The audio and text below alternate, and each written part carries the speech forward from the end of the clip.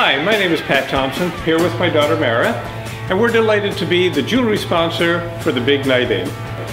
At auction will be this very well appointed Omega timepiece from the DeVille collection, valued at approximately $5,000. Omega was started in 1848 and is the official timekeepers to the Olympics.